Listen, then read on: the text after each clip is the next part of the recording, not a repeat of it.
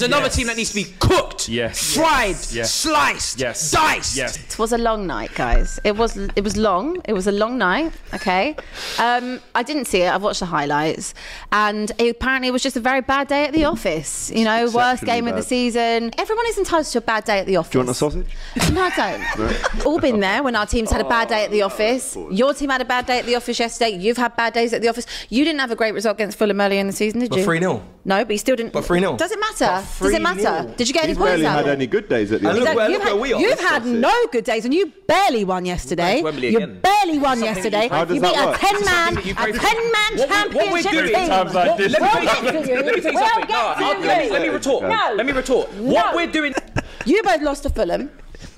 Not Tough- cottage. I tough didn't. place to go. Not a cottage. Tough- It's not tough. No, for in your own, worse. you're in your own That's backyard. worse. We in your won own at the backyard. cottage. 3-0 at Talk home, about, wasn't it? Talk about But the you game lost that in it your is. own backyard.